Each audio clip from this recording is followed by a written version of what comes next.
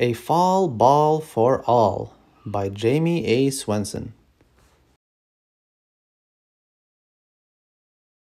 Once upon a golden day, autumn wind blew into play, whooshing leaves into the air, orange, brown, purple everywhere. At every burrow, den, and nest, an invitation fell to rest you're invited, one and all, to the annual Windfall Ball.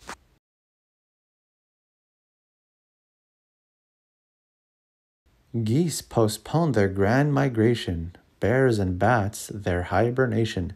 Excitement for the party grew from great gray owl to smallest shrew. The creatures donned their autumn best, fur and feather primped and pressed. Coyote groomed, pheasant preened, porcupine shook, otter cleaned. The nights grew longer into fall as autumn wind prepared the ball. Squalls sent pumpkins tumbling round, a breeze shook apples to the ground.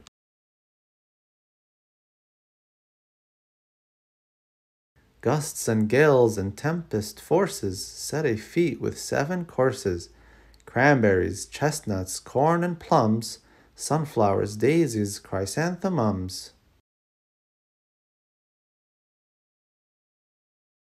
Harvest moon set the night aglow. Guests arrived, some fast, some slow, with time to nibble, greet, and play, while festive tunes got under way. Rabbit and turtle tapped a beat as wind composed an autumn suite. Soon the night was filled with song, a blustery chorus sang along. Then autumn wind began to dance, it breezed, it blew, it puffed, it pranced, beckoning both big and small to join in step at the windfall ball.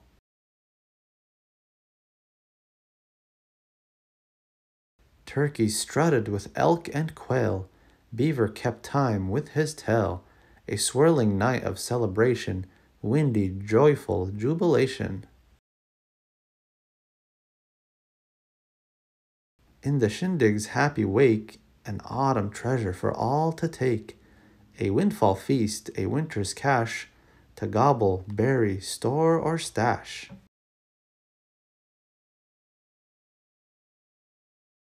Chipmunks filled their furry cheeks, raccoons took pumpkins, corns, and leeks. Then Badger raised one final toast for all who gathered and their host.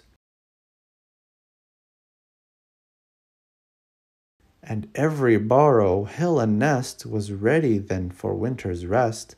Autumn waved goodbye to all until the next year's windfall ball.